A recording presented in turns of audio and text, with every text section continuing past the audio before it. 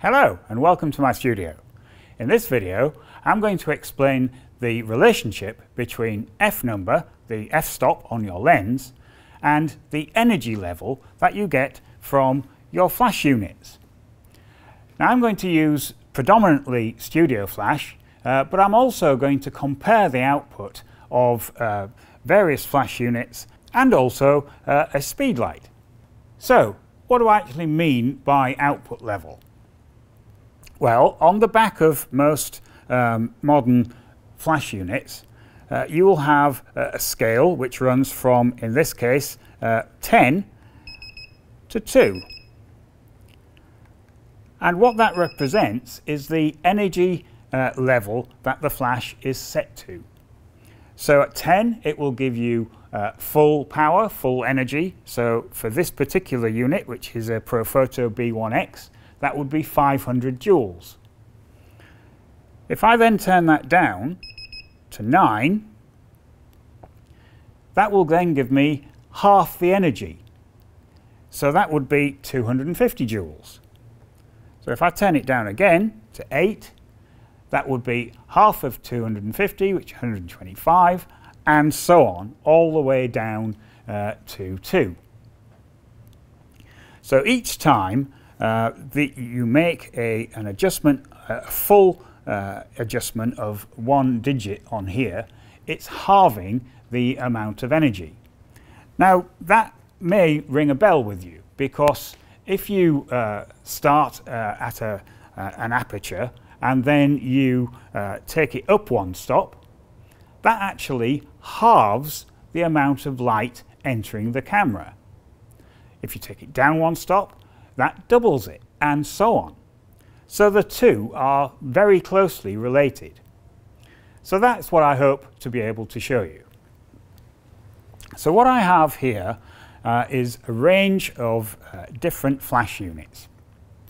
Uh, on the stand here I have uh, a B1X, uh, then we have a mains powered uh, D2, so this is 500 joules, this is 1000 joules, and down here I have um, a generic speed light uh, which has uh, a guide number of somewhere around 38. Most speed lights don't give you uh, an energy uh, for their output. Um, they tend to still use the, uh, the guide number. But we can use that as a comparison. So what I'm going to do is using this um, still life setup, uh, I'm going to take some, some images of this uh, together with this color checker. And as I'm tethered into uh, Capture One software, I can use the grayscale on the color checker card uh, to give a, a very accurate uh, exposure level. So we'll be able to compare different uh, F numbers and different outputs uh, from different flash units. Well, that's the theory anyway. let's give it a go. I'll just move these ones out of the way. Okay, so to get started then, uh, as usual, uh, what I will do uh, just to make sure that we don't get any contamination from uh, the house lights, etc., I'll just take the flash trigger off the top of the camera uh, and we'll just capture uh, a frame. Okay, so we can see from that there is no image to speak of. Uh, there, the camera settings that I'm using as a starting point are the sync speed for this camera, which is 250th of a second, uh, and the aperture is set to f8. So with that done, I'll put the flash trigger back on the top of the camera again, uh, and we'll just take a, another image just at an arbitrary uh, energy level uh, just to see what happens. Okay, so this is a, a, little dark. It probably needs to come up by uh, two stops. Uh, so I could uh, increase the energy level from the remote on the back of the camera here, but just to make sure that you can all follow what I'm going to do, I'm just going to change it on the back of here.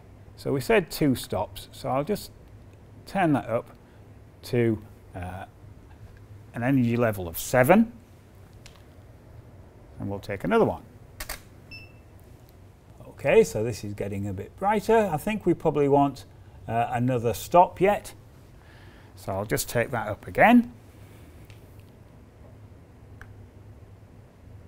There, so I've increased the energy level on the back of this unit from 5 to 8, which is the equivalent of 3 stops.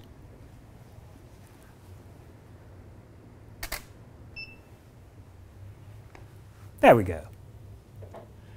Now, uh, in here, um, we can see that these are all pretty good. There's very little clipping going on. I'll just turn the exposure warning on just to have a look. Uh, nope, nothing to, to speak of there. Now on this grey stripe here, uh, if you watch these uh, little numbers at the top here, uh, you'll see that um, most of the grey is at uh, around 145, 144. Uh, so if we match that level every time, that will give a, a, an indication that the exposure is staying the same. So now if I take the aperture on the camera and increase it from f8 to f11, which is one stop, then I need to compensate by adding one stop of energy to the flash. So if I take that up from 8 to 9, and now we take another exposure, I think you should be able to see Uh, this is around the same, 143 thereabouts. And if I flick between the two, you can see there's very little difference between them. So if I go up another stop to F16, I'll need to add another stop of energy.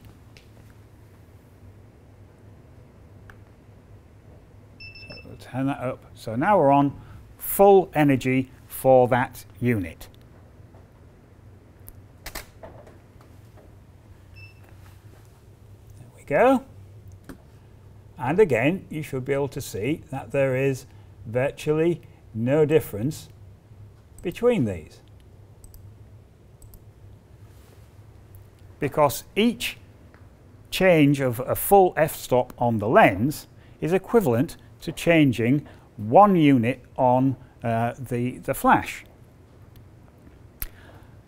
Okay, so that's fairly straightforward. Now, I did mention when we first started that this is a Profoto uh, B1X, which is 500 joules. Uh, and I also mentioned that each time you change uh, one digit here, you're actually doubling the amount of energy. So if I were to swap this head out for a 1000 joule head, then in theory that would be around about one stop change. So let me do that. I'll take this one off and I'll replace that with a D2, which is twice the energy. So just check that's still pointing in vaguely the same direction. There we go. This is set to full uh, full energy, so it's on its uh, maximum. So in theory then, if I take the F16 to F22, there should be hardly any difference in the illumination on the scene.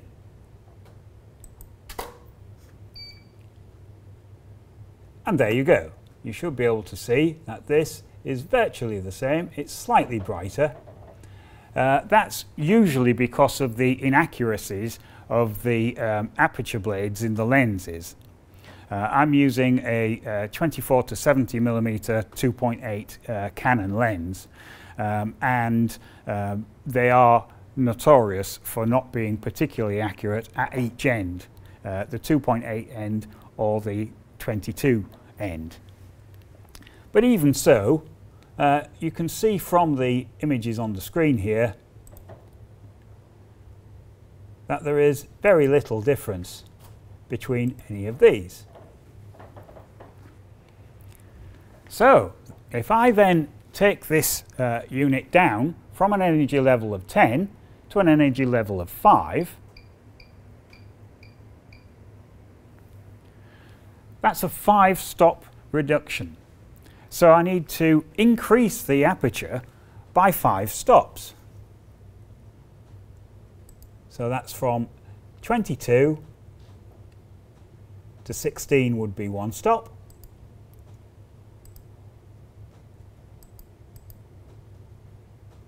To 11 would be two stops.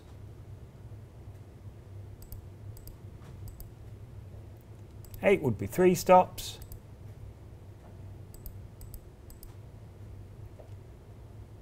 Five point six is four stops. And F4 is five stops. So we'll give that another go. And there you go. This again is virtually identical to the previous one. Okay, so if I just reset this uh, and I'll just put the uh, B1X back on here,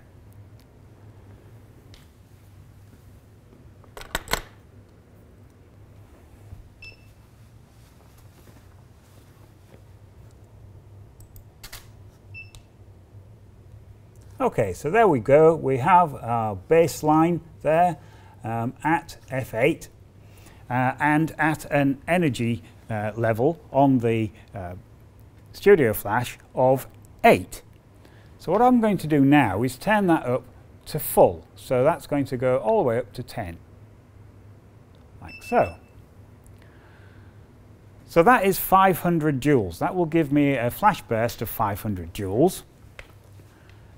So as we know, uh, because that has now gone up to full, I will need to adjust the aperture accordingly. So I'll take that up to f16. There we go. And we're getting exactly the same result as we did before. So with that at full power, uh, this on f16, we get this sort of result. So if I now swap this out uh, for a, uh, a, speed light instead of a studio flash uh, and leave the aperture exactly the same on the camera, you'll be able to see the difference in exposure uh, between the two. So let's just do that. I'll just swap this out. Now in order to get the, uh, the speed light to work with this system, I've had to attach Uh, a, an AirSync unit, a Profoto AirSync unit, to the outside of it with some sticky tape. So I'll just turn the whole thing on. Turn the speed, the speed light on first. Just attach that on there. Turn that on. And then we'll just pop that on the top of this stand. Like so check it's pointing vaguely in the same direction. Yeah, there we go. I'll just give that a test to make sure it's talking to the, uh, the trigger. Uh, yeah, that seems to work. Jolly good. So now if I capture uh, another image,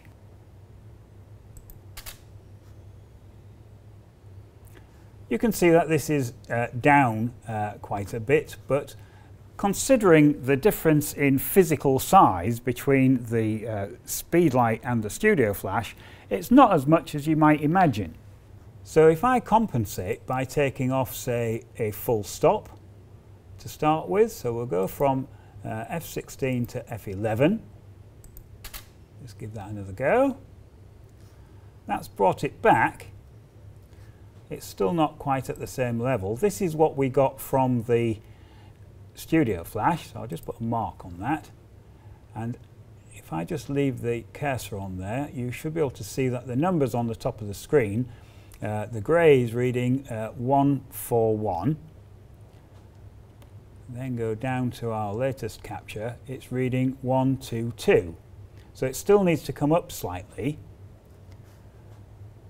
So let's try another full stop. So we were at 16, we went to 11. We'll go to 8.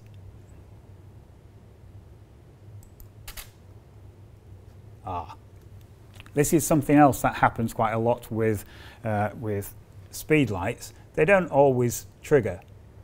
So let's just give that another go. There we are. So if anything, that is now slightly over. Since I've got the ability to do third stops, I'll do F10.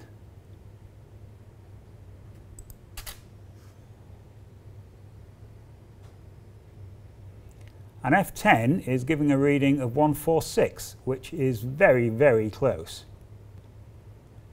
I go back up here. 140.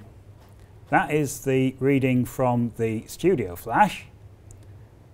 And now if I come down to our latest capture, that's 147, uh, which is at uh, one and a third stops. So then, the difference in energy between uh, the little speed light that we've got up here, which has a guide number of about 38 or thereabouts, uh, and this um, Profoto B1X uh, Studio Flash, which is 500 joules, uh, is about uh, one and a third stops. So you can see from that, in terms of energy alone, um, they're not a million miles apart. In terms of ease of use uh, and uh, quality of image, uh, they are fundamentally totally different. But that is a subject for a future video. Okay, well, I hope that was uh, some use and uh, you've got something out of that. Uh, and if you like seeing these sort of things, just click on the other images as they appear and don't forget to subscribe. And we'll see you in the next one. Thank you very much.